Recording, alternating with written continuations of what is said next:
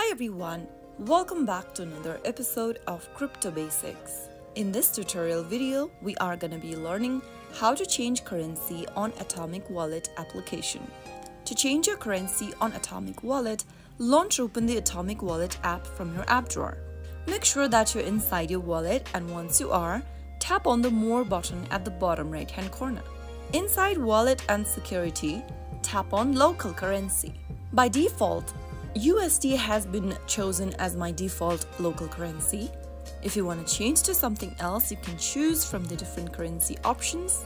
For example, I'm going to choose Euro and soon after you do that, you will then be able to change your currency on Atomic Wallet.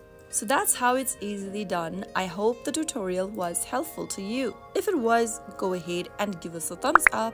Don't forget to subscribe to our channel by hitting the subscribe button. Press the bell icon so that You'll never miss another upcoming upload from us. I will be back again in the next episode. Thank you for watching.